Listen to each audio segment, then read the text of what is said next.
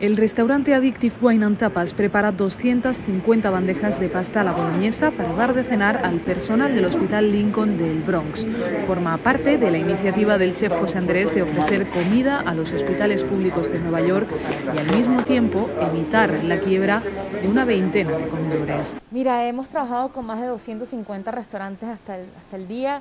que literalmente nos da mucho orgullo decir hemos salvado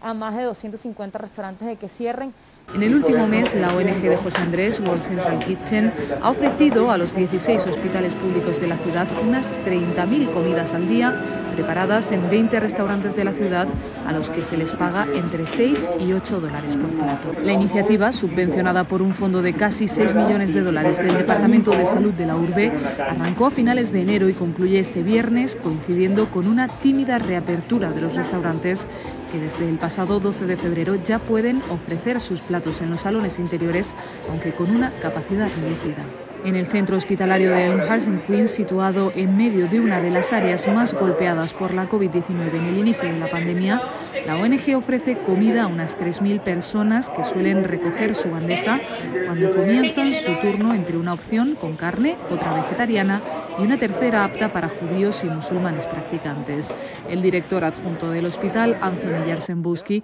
explica que la iniciativa les ayuda a estar centrados en lo que más les preocupa, los pacientes.